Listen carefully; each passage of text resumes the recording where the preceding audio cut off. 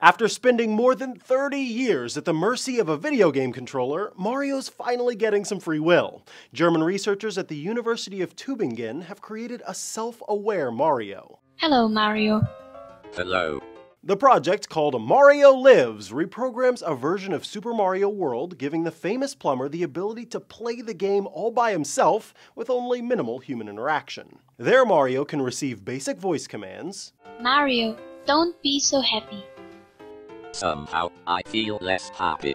learn about the world around him, If I jump on Goomba, then it maybe dies. and figure out how to navigate his environment. One thing he can't manage Mario's iconic voice. It's a me, Mario. Woohoo! The nearly sentient Mario has been met with some concern. The Verge questions the wisdom of building self aware AI, programming their creation with an insatiable desire for material wealth, and teaching it how to kill. The Guardian's Charlie Brooker is more sympathetic. This Meta Mario is painfully aware that he only exists within a meaningless two dimensional artificial framework from which he can never escape.